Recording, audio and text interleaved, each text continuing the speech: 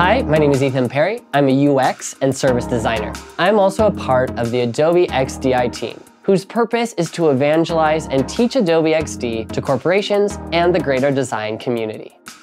Throughout my career, I have designed interfaces for applications ranging from banks to hotels. Every time I needed to create an application, I would need to use multiple tools. I didn't think there was a solution that did it all until I found Adobe XD. Adobe XD is a powerful platform that allows you to create designs with your team for websites, applications, voice interfaces, to name a few, without having to write one single line of code. Wireframing, prototyping, sharing, all within one powerful tool. In this Domestika Basics of Adobe XD, there are five courses. You will learn how to create mockups, design prototypes, and collaborate.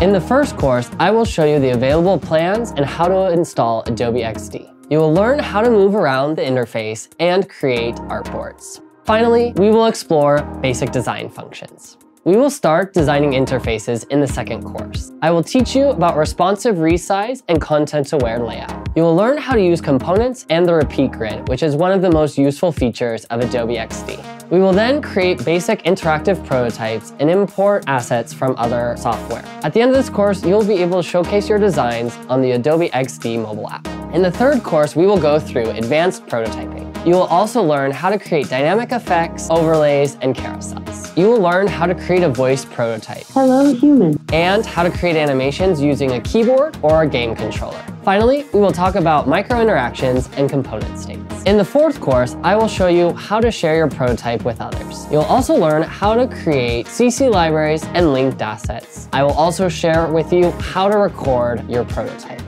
We will work on optimizing your workflow during the fifth course. I will share a few tips and tricks with you to improve your design workflow thanks to plugins, extensions, and UI kits. By the end of this Domestika Basics, you will have created a prototype that you can iterate and validate within a matter of minutes. All you need is your computer and smartphone with Adobe XD installed. Create prototypes that bring your experience to life with Adobe XD.